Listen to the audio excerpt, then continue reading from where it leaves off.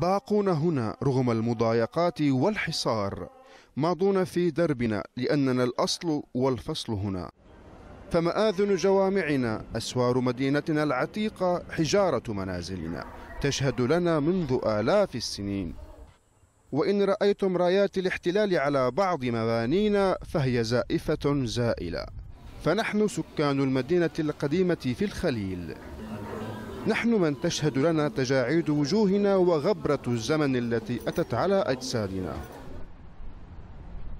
كلمات هزت عرش الكيان الصهيوني بعد إدراج منظمة اليونسكو مدينة الخليل والحرم الإبراهيمي الشريف على لائحة التراث العالمي التابعة لها.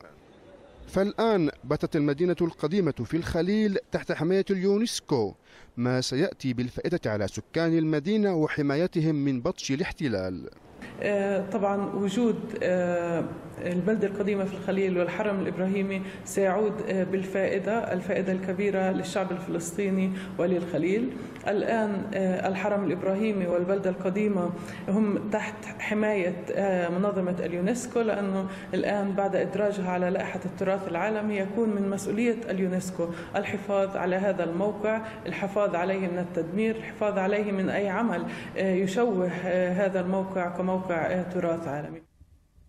ورغم النجاح الفلسطيني في المعركة على تحديد هوية مدينة الخليل إلا أنه لا يؤمن الجانب الإسرائيلي الذي ما فتئ يحاول تهجير الفلسطينيين من أحيائها القديمة. المستقبل غامض بالنسبة لهذه المدينة في ظل استمرار التقسيم الإسرائيلي لها والحصار على بلدتها القديمة وعلى الحرم الإبراهيمي وعلى جزء أساسي فيها. هناك تقطيع لأوصال المدينة.